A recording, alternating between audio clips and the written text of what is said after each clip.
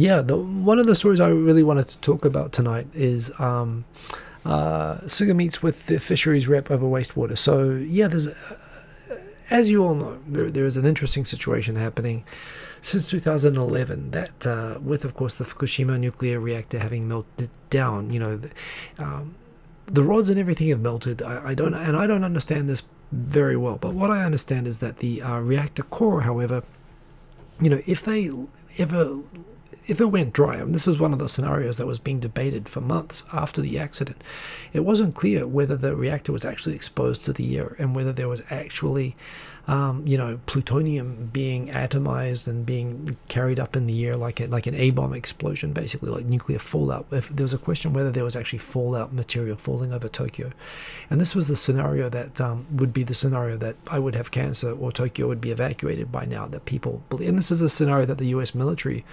Uh, and U.S. government actually said that they thought was happening. It's the scenario that a lot of anti-nuclear activists um, went onto media and said they assume is happening, uh, which contradicted the information, which thank heavens, that the pool wasn't dry. Um, the the pool that was cooling the reactor rods in Fukushima actually did have water and continues to have water. And uh, in order again to stop. Uh, as, as they decommission the plant, you know, they still have to keep the nuclear material cool, and so they have been pumping coolant through the plant, uh, even following the accident, basically since 2011. However, given that the whole plant was sort of uh, broken, um, and, and, it wasn't clear what was going on inside the reactor for such a long time, they made the decision that where a normal nuclear plant, you would run basically the, the reason they're always beside the ocean is that they use seawater for this purpose. They, they capture seawater, they pump it through uh, basically around the reactor to keep it cool. Uh, not through the plutonium per se, or maybe they do, but they do something with it that basically it'll have some tritium in it, it'll have some um, short short half life radioactive material in it, but they'll treat it um, and uh, dilute it enough that it can basically, on a normal nuclear reactor, it will be basically sent back out into the ocean, you know, in front of the nuclear reactor. And by the way, I have surfed before the accident, obviously. I've surfed right beside the Fukushima nuclear reactor. Best surfing of my entire life was right beside that nuclear reactor, actually, um, in Fukushima. It's got amazing surfing, beautiful beaches. Um, obviously, not very good for it now. But the point is, is that you know Japan's whole coastline and America and Europe have coastlines dotted with these nuclear plants that are constantly sucking up seawater, using it for cooling and putting it back out into the sea. You know, in constant operation. With Fukushima, they didn't actually know if it was safe um, or, or what was going on with the plant, so they made this decision that they would suck up all of this water, but rather than pump it back out like they normally would, you know, they weren't sure if it was safe. They decided to keep it all in these barrels on site. So basically, somewhat what's normally an ongoing pumping in and out process around these plants, they decided to store on the Fukushima site. And so basically, you have now, you know, and these are vast amounts of water have been going around, you know, sort of keeping the, rea- the reactor core cool now for um, 10 years and uh, but instead of pumping it back out to the sea, they've been putting it into these tanks, and these basically there's no room left on the site, and uh, the tanks themselves are starting to sort of break and so on. And um, yeah, yeah, the, the, Japanese government, it's been a problem for a long time. Like, what are you going to do? You can't just keep storing this stuff forever. You know, you actually have to figure out what to do with it at some point.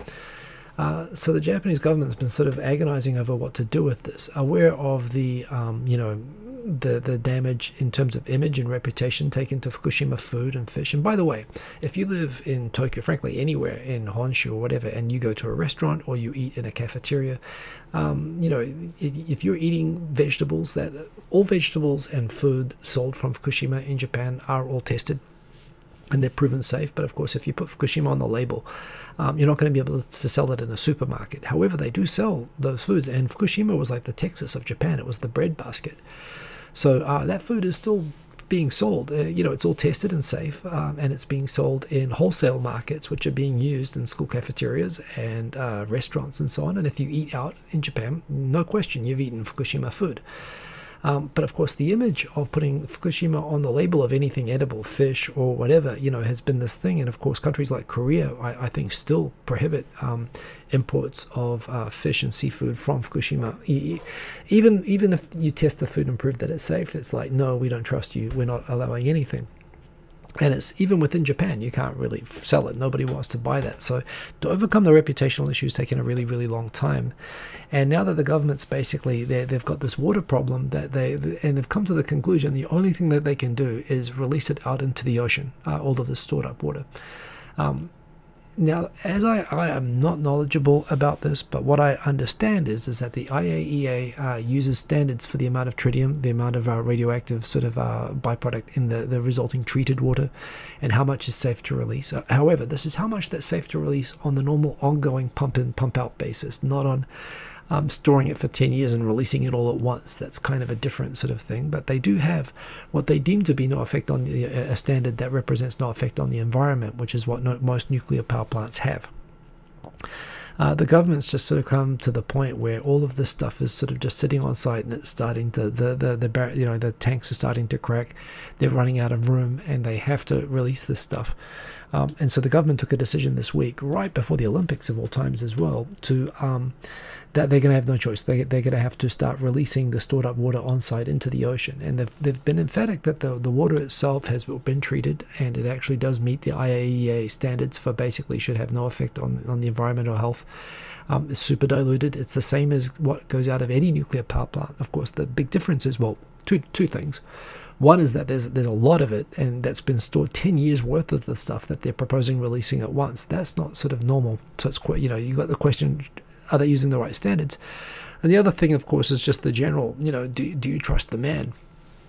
Um, you know, can this be relied upon? And, and and of course, you know, as as we've learned up and down, um, when you say anything about uh, anything nuclear related, um, the, the the mistrust and hysteria that immediately goes. Uh, the the there are a lot of people already, of course, freaking out. Japan is about to release, and they say uh, Japan's about to release um, radioactive water, you know, into the Pacific Ocean, and they're about to poison the whole Pacific. Some people are sort of saying now, you know, the water. From my perspective, um, I love surfing in Ibaraki, which is down current from Fukushima. I'm not planning to surf in Fukushima again, but if I want to ever go surfing or fishing in Fukushima, I eat food from Fukushima. I eat fish from Fukushima. I know that this happens if I eat out. Uh, and I want to go surfing in Ibaraki again. So you know, uh, to me, this is not a propaganda, you know, war. This is this is uh, again personal safety um, that that I I'm interested in this, and I want to understand. Is it is it something I should reconsider surfing in Ibaraki after they do this? Um, so what actually, how safe is the water? What is actually in it? Does it contain plutonium? Does it contain tritium? How much is safe? What is safe? What is the normal standard? And truth is, I don't know. There's all, there's all, the government of Japan has a lot to explain. Uh, if history is any indicator, um, frankly, there's going to be some, there's going to be a lot of people who are going to be shouting very loud, and they're not going to be listening to anything uh, because they just have an agenda of proving that nuclear power is evil and that uh, you know, and, and that you know the world's going to end all over again, like they said back in 2011. Um, and we're proven on a, a, lot of things to be wrong. But that said, um, you know, um, what what I want uh, as uh, having just uh, uh sort of um, given the BBC a hard time for being a public broadcaster, I, I, I do want to know um, what's the equation here? How safe is this? What is the risk? They're already talking about paying. They, they know it's going to cause a, uh, more problems for the fishing industry, and they're talking about paying compensation to them because they know it's going to be harder to sell their fish. But it's not just Fukushima; it's, it's going to affect the whole you know, Pacific coast of Japan. So we're waiting for more information on this. It's it's interesting that they're planning to do this ahead of the Olympics, particularly with countries like my own country, New Zealand, which is completely hysterical on anything uh, nuclear, like you know power. They, New Zealand just outlawed everything nuclear, apart from like radiology medicine. they outlawed power, they outlawed weapons, uh, they outlawed sort of everything just just to be safe back in the 80s, and that's that's still very deep seated. Germany, of course, completely irrational when it comes to. I mean, they they went back to coal pretty much instead of nuclear power, no question question. Um, they they made some honestly uninformed decisions based on Fukushima. That I mean, Japan did stop all the nuclear reactors, but not to decommission them. They did it to actually uh, improve the safety and reliability of this, uh, which they've been doing for ten years. They're upgrading all of their reactors, and they will come back online.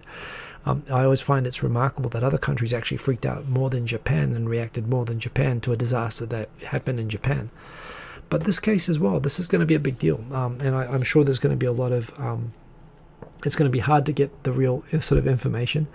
Uh, and, but in these cases, you can only trust the, the, the, the, government scientists who, you know, you have to believe um, as a resident that these are people who are civil servants whose jobs are to consider what's safe for their own kids and for, you know, their own communities that they live in and they, that they support. So we'll see. I don't know if, uh, how safe this is going to be. They do say that it does meet the IAEA standards and the water is going to be treated, proven, treated uh, appropriately before it's released. But they are going to release a lot. Like the the volume, do they say on here? It's pretty crazy, and there's going to be a lot of talk about this. I mean, every day they are producing. So you imagine this: they're producing 140 tons of contaminated water every day for, for 10 years. Um, so the the number it's it's like a it's like a quadrillion tons or some ridiculous amount that they're planning to release. So it, it's going to be a big deal. Um, South Korea, of course, is freaking out, but honestly, they've been freaking out at everything, and they're on the other side, right? but yeah, um, but that said, it'll be interesting to see. Um, uh, the water is used to cool molten nuclear fuel, uh, and it's mixing with rainwater and groundwater. Uh, and this is the problem right now: is that sitting on site, it's leaking into groundwater. So you know, they again lesser of evils. They're thinking of putting it into the ocean. But we're going to find out. This is going to be another big topic in coming weeks, and who knows? It could actually affect. Um, it could be used as another excuse to affect the Olympics. Um, so um, we'll we'll see. But that's that's a big decision that the government just made this week that they're going to do this. They're going to release this. So that's a thing.